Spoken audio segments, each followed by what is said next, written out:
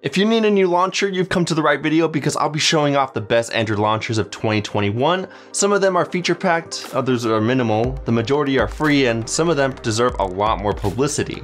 By showing off 9 selections, you'll definitely find a launcher that suits you well, so a huge thumbs up for that. Also be sure to check out my second channel called How To Men in Espanol to watch all my videos in Spanish. The link is in the description. Anyway, the first launcher on the list is Ruthless Launcher. It's the most minimal option that replicates the Pixel launcher and adds some additional home screen features.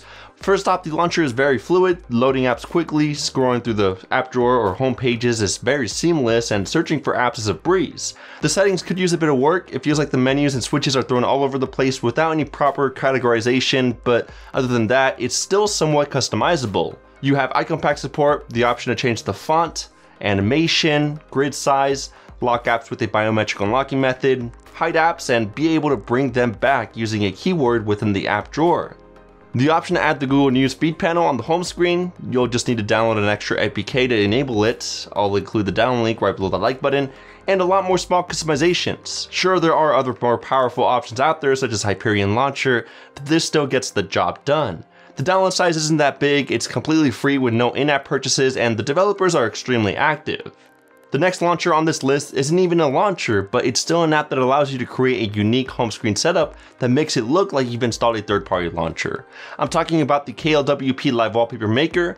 There are plenty of apps out there that use this so you can apply a sick setup with animations, unique looking designs, and widgets. I recommend using it on Nova Launcher, but once you set the KLWP as your live wallpaper, you can download a KLWP pack from the Play Store, such as Neu Cards or Lucid for KLWP Pro and from there you can apply a cool looking home screen setup from those apps. Plus it's crazy how a lot of them look like an actual launcher. You can tap on buttons to slide in new cards or pages, the animations are always very mesmerizing and some of them even allow you to customize the setup from the home screen.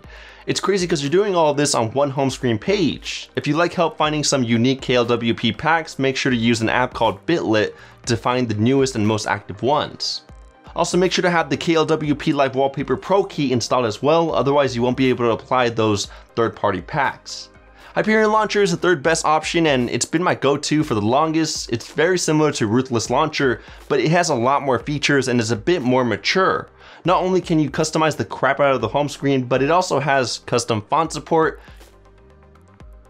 You can customize the color of any object, including the search bar, Google Calendar widget, folders, etc. And here's a cool trick. You can enable two rows of apps in that dock and enable multiple dock pages to have a staggering amount of apps in the dock.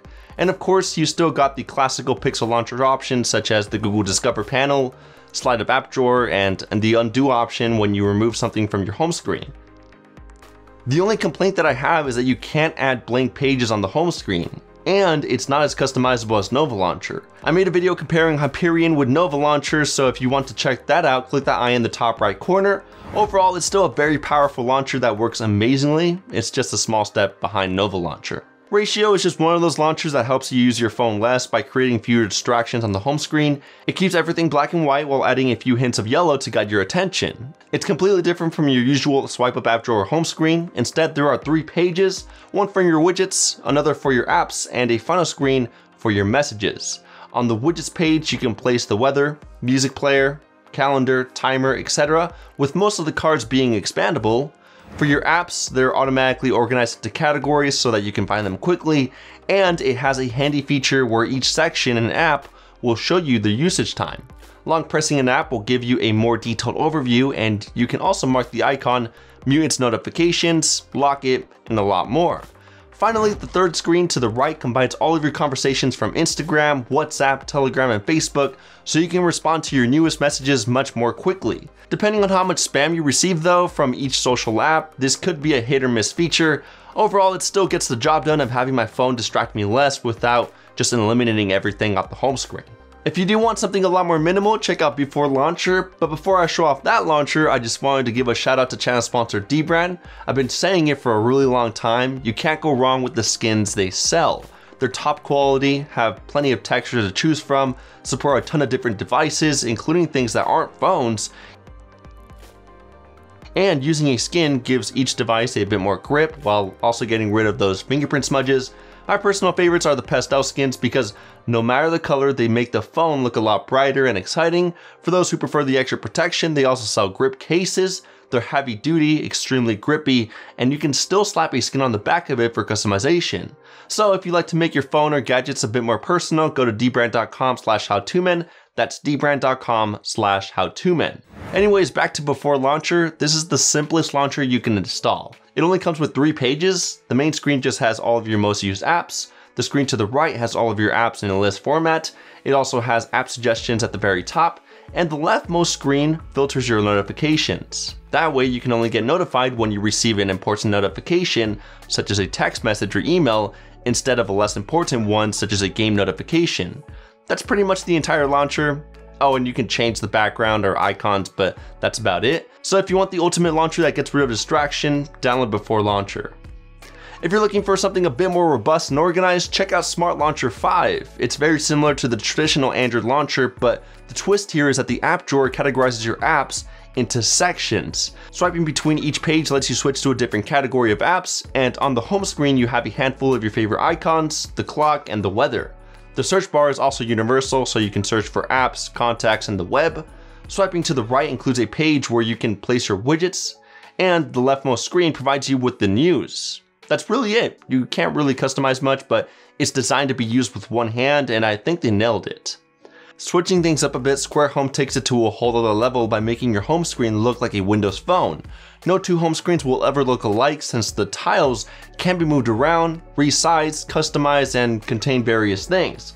I have tiles for the clock, a live photos tile that scrolls through my pictures, some live tiles to see the RAM, battery, and storage capacity. I can have folders filled with tons of apps, a cube that lets me find the right social app, and some tiles that hold widgets. The more tiles you add, the longer the page will get, or you can add multiple pages to the side. And honestly, I love having some of the tiles always animate because it keeps the home screen looking alive and well. If you jump into the settings, you'll also be able to customize a lot more, such as the icon pack, the background, the overall size of the tiles, and a lot more. The only thing to keep in mind is that you'll only be able to use some of the features for 14 days before needing to pay to unlock them all again. Still, give it a shot if you want something refreshing. Microsoft hasn't done a lot of things right, but their launcher isn't one of them. This is a very functional and extremely fluid launcher, it provides no lag at all and gives me some useful information when I need it. The leftmost shelf screen is what really catches my attention since it gives me what the Bixby panel never could. My calendar events, tasks, sticky notes, most frequently used apps, documents, screen time, and recent activities, Sure, they have their own little advertisement at the bottom, but I've seen some companies do a lot worse. Samsung. And in that same panel, you can tap on the news tab to catch up on your daily news. Another reason why I love this launcher is that it can apply some really nice high quality backgrounds. They're all photographs of the earth, and just by tapping on a shortcut, I can switch to a different one easily. There's also a hidden trick where if I swipe up on the dock, it'll expand it and reveal more apps. The search bar is also universal, and within the settings, you can modify a lot more. I don't really have anything bad to say about this launcher, Microsoft really nailed this one. Last but not least, let's talk about the well in the room, Nova Launcher. It's the most popular and well-rated launcher on the Play Store. It's also one of the oldest launchers around, and the developers have managed to still keep it up to date with the latest Android features. Most people who extremely customize their home screen always use Nova since it allows them to modify everything. You can increase the grid size to an insane amount, Remove everything from the home screen including the status bar, and you can create blank pages which for some reason a lot of launchers can't do. And no matter how you modify your home screen, the launcher is still extremely fluid and loads up everything quickly. If you don't like any of the launchers that I recommended, you can at least fall back to the classic. Either way, that's been the best Android launchers of 2021. I'm sorry for not mentioning Lawnchair 2, but recently the developers have stopped development for it, and there will be no more updates for it, so I didn't want to recommend a launcher that would just become outdated. Anyways, thank you for sticking around. Please get subscribed while you're at it with the notification bell turned on. Only a few percentage of you guys are subscribed. We push out awesome Android videos like this every week. Don't forget to check out those awesome Dbrand skins. Thank you guys for watching, and I'll catch you guys in the next one. Kapow!